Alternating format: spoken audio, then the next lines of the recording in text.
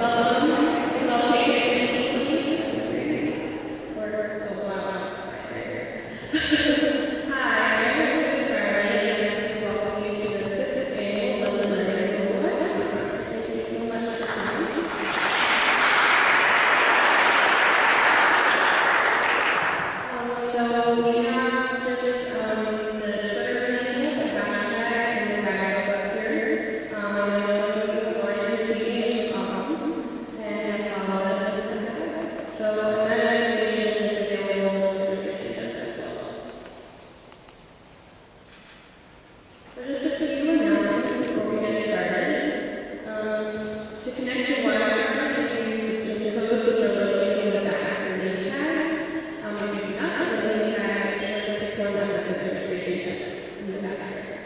Amen.